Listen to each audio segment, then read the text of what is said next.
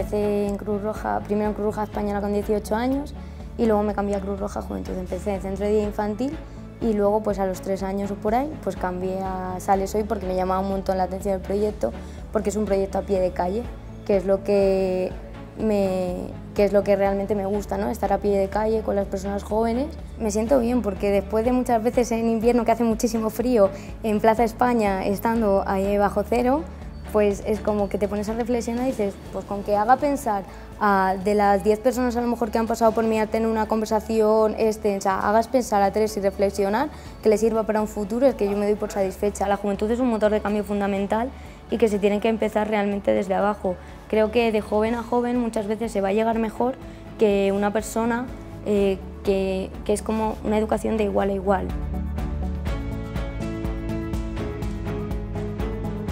Yo creo que lo que se transmite a través de Cruz Roja Juventud sobre todo es primero eh, que la juventud sea, sea líder, ¿no? sea una parte activa. Una de las cosas que me ha aportado es que, digamos, yo creo que te guía un poco y te ayuda incluso a ser mejor persona de lo que de lo que puede ser antes de entrar en Cruz Roja. Es que yo creo que en el fondo también te enseña cosas que no conoces de ti mismo. Al ayudar a los demás ves partes de ti que no conoces. Por ejemplo, en el campamento ya había veces que decía, digo, soy yo capaz aquí de hacer esto, aguantar aquí a 90 chavales. Para mí cuando la gente decide hacerse voluntaria es porque hay algo internamente como que te ha llamado. Sí, que de repente te ha llamado y te ha hecho un chip diferente y has hecho ese chip como que ha conectado.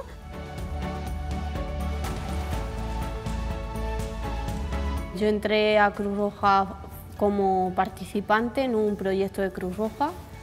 Eh, me encantaba cómo me ayudaban, cómo ayudaban a los demás. Luego a los 14 entré como afiliada y poquito a poco cada vez iba cogiendo cada vez un cargo mayor dentro de Cruz Roja. Y ahora con 20 años, pues hace unos meses decidí dar el paso de presentarme directora. Tenía dudas al principio, pero luego como la gente de mi local de Cruz Juventud me apoyó, pues me decidí. Y la verdad que estoy muy contenta porque siento apoyo por mis compañeros.